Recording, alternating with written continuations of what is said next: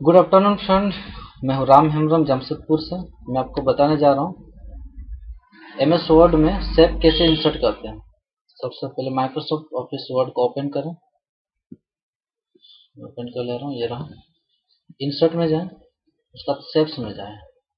कई तरह का सेप्स आपको दिखाई दे रहे हैं। मैं इस सेप को यूज़ कर रहा हूँ। इसका यहाँ पर आप इसको ड्रैग करते हैं लेफ़्ट बटन दबाकर यहाँ पर कई तरह के कलर्स हैं। और यहाँ से ले सकते हैं कोई भी कलर को। उसके बाद सेप में अगर कोई दूसरा कलर फिल करना है, यहाँ से फिल कर सकते हैं। ये आउटलाइन के लिए है। आउटलाइन अगर कलर देना चाहते हैं, या देखिए आउटलाइन कलर वगैरह और चेंज कर सकते हैं सेप यहीं से।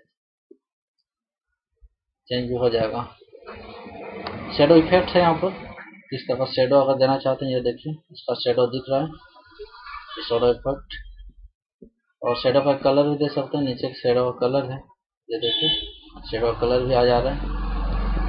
इसमें चीज़ है, ये three D effect three D effect बहुत ही मज़ेदार चीज़ है, आप इसको यूज़ कर सकते हैं। ये देखिए, बहुत ही सुंदर दिखता है ये। इसका थ्री डी का जो कलर है, वो हम चेंज कर देते हैं। ये देखिए, अगर इसके अंदर में आपको लिखना है, यहाँ पर राइट क्लिक करें, उसके बाद एड टेक्स्ट में क्लिक करें। जो भी आपको लिखना है, यहाँ पर लिख सकते हैं। इस तरह से आप कोई भी शेप को इस तरह से यूज़ कर सकते हैं। और ये बहुत ही मज़ेदार फ़ंक्शन है एम एस वर्ड का। यह वीडियो आपको कैसे लगा ये मुझे कमेंट बॉक्स पर लिख के ज़रूर भेजिए।